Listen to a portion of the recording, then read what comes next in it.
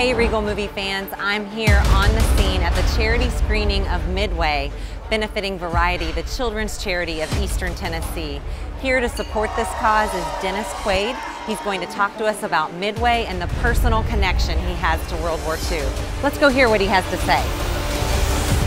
My generation, we were really fascinated by World War II.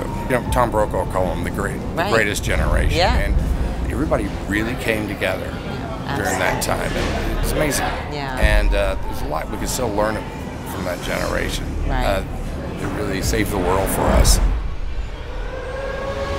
Tell Regal moviegoers, what was it like working with this amazing cast and crew in Midway? This was an honor to do this movie. It really was. It's a thrill because it's Roland Emmerich who did Independence Day.